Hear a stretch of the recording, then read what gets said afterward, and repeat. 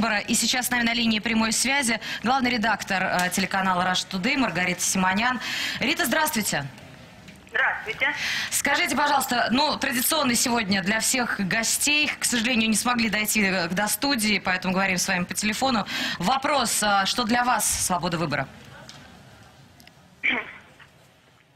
Что для меня свобода выбора? Такой философский у вас вопрос. Э, Все отвечают. Может, как-то как конкретизируете? Ну, наверное, то же, что и для всех э, людей. Свобода жить так, как мне нравится, верить в то, во что я хочу, проводить время с теми, с кем я предпочитаю, читать книги, которые мне интересны, и далее по списку. Тогда давай я спрошу. Маргарита, а вот э, Russia Today транслировала первый митинг на Болотной. Пришли ли к вам из прокуратуры по запросу депутата Шлегеля? Нет, к нам не приходили из прокуратуры. У нас запросили запись эфира зато в Великобритании по другому поводу, ну тоже вчера или позавчера. И что вы ответили? Дадим запись, а что у нас выбора нет? Если не дадим, нас лицензии лишат. А, Маргарита, скажите, пожалуйста, а, в, очень много сейчас говорится о свободе выбора журналиста, о том, а, что он сам может выбирать, что писать, что не писать, в какими именно словами, а, какую Журналист в тему первую освещать. очередь может выбирать, где работать. Кто-то, э, кто э, придерживается взглядов сходных с редакционной политикой телеканала «Дождь», э, может работать на телеканале «Дождь». А кто-то, кто придерживается взглядов сходных с редакционной политикой газеты «Завтра» или другого э, СМИ, может работать там. Это, я считаю, как раз прекрасно, что человек может работать там, где э, сама суть и сам посыл э, телеканала или газеты или радиостанции может соответствовать его собственным взглядам и представлениям о прекрасном. Но Мне это же только в Москве может нравится. быть, или в Петербурге, где действительно есть какой-то выбор. Нет, нет, а нет, региональные это не так. Ну, журналисты, где есть одна на- газета. Где вы видели у нас регион, где есть одна газета? Я таких регионов не знаю. Посмотрите на тот же Томск. Там еще попробуй выбери какую-нибудь э, государственническую станцию. Э, даже не знаю, есть ли там такие. А Там как раз э, самые главные СМИ это такой вот в определенном смысле телеканал «Дождь». Э, Регионы очень разные. Конечно, есть регионы, особенно на Кавказе, где с э, мнениями, э, расходящимися с точки зрения, с точки зрения власти, трудно найти работу. Но опять-таки возможно. Труднее, чем наоборот, но возможно. Но есть совсем другие регионы. Тут э, сложно под одну гребенку всех. Маргарита, может, вы были сли- слишком молодой, но нам, например, не дали работать на канале НТВ, который мы создавали, на канале ТВ-6 и канале ТВС. Их закрыли в, в течение двух лет все три подряд. Нет, это Ну, не рассказывайте. Я ходил на митинги защиты НТВ в свое время. Вы считаете, что у Помните, нас были был такие? выбор, где работать? Я считаю, что в то время у вас не было. Вы же меня спросили про сегодня. Телеканал «Дождь» не было еще год назад или два года назад. Ну, по крайней мере, он не был таким явным. Сколько вам лет, ребята? Телеканалу «Дождь» сколько лет вопрос? Два года почти уже. Два годика. А, ну вот, я же и говорю, да. Его совсем не было. А сейчас смотрите, какие звезды там работают. Паша Лобков и там Лошак и другие. Вот вы сейчас там программу ведете.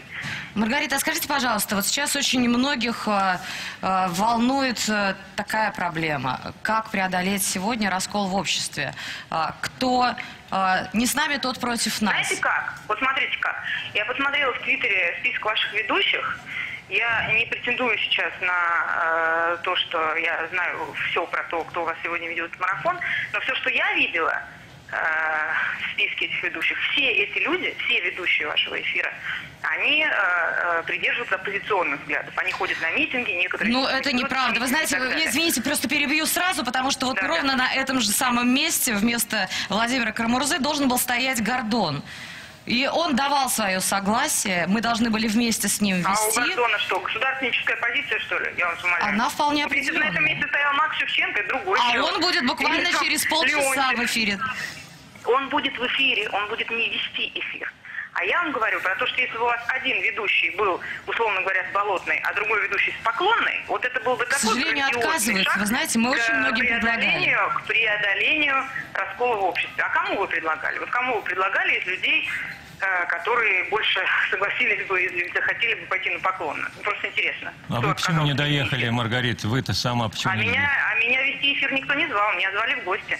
Да, вот почему вас нет на нашем... Так подождите, получается, что а, телеканал «Дождь» раскалывает общество? Нет, конечно. Ну, конечно, не, не телеканал «Дождь», и не один телеканал «Дождь», и люди с другой позиции то же самое. Вот поверьте, мне одинаково вот просто противно, просто по-человечески противно читать и то, что пишут люди э, из одного лагеря, и то, что пишут люди из другого лагеря. Более того, я вам больше скажу, когда я сама, как мы все, будучи людьми слабыми и, и склонными к э, импульсивным реакциям, когда иногда сама я прихожу в ярость от каких-то вещей, что-то такое пишу, да, э, ну так, очень э, раскольнически окрашенная. Мне и самой потом неприятно, от самой себя думаю, ну елки-палки, ну что же, вот ты, как они все тоже, ты же, ты же не хочешь, чтобы было так, ты же не хочешь, чтобы все делились на правых и левых, а тоже тебя периодически захлестывает этой волной. Это ужасно, то, что сейчас происходит, ужасно. Я вот говорила с вашей начальницей, Наташей Синдеева, несколько дней назад,